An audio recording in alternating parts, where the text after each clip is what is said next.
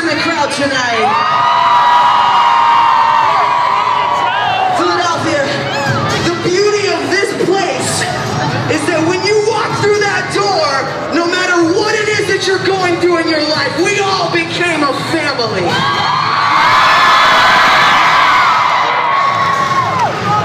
We love each and every one of you guys so much, and we will never stop writing music for you.